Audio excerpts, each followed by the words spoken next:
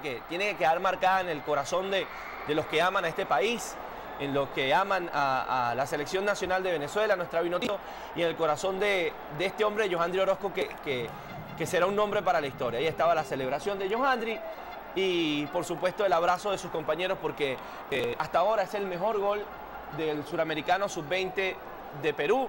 Este golazo de Johandri Orozco que llega en el momento oportuno. Eh, en- como les decía, en una genialidad que, que, como, como bien apuntaba Nelson Carrero, va a ser difícil describir todas las cosas que, que ha hecho este muchacho por, por vestir la camiseta nacional y por llevar la cinta de capitán en su brazo izquierdo. Aparte que juega bien, el despliegue físico de, en este partido fue extraordinario de, de Joandri.